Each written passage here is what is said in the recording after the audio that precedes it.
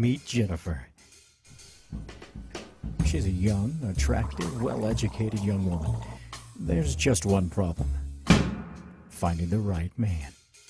So can I take you home, tie you up, and whip you till you squeal like a pig?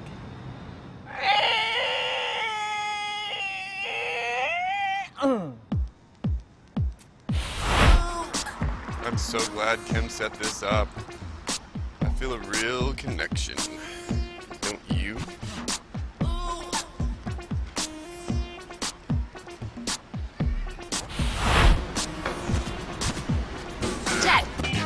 Meet Michael. He's a young, attractive man who never seemed to have a problem with the opposite sex until one day someone unexpected came into his life. You see, he's her lawn boy.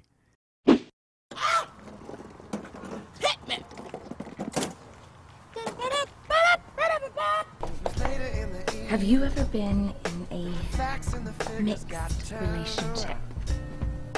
No. No, they, these these are work clothes. No, Don't but you have about to it. get this sort of thing off quickly before it sets in and stains. Sounds like you know what you're doing.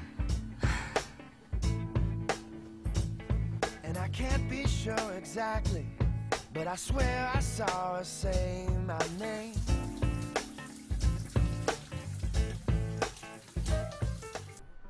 Mama, how'd you know that was it?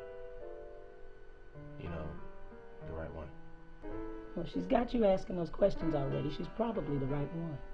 She's got you feeling different than the rest. That's the first sign. Yeah?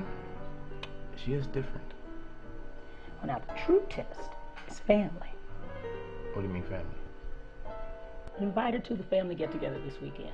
If she can survive that, she's probably the right one. Um, everybody, every everybody, this is um, this is my girl Jennifer. Jennifer, this is um, everybody.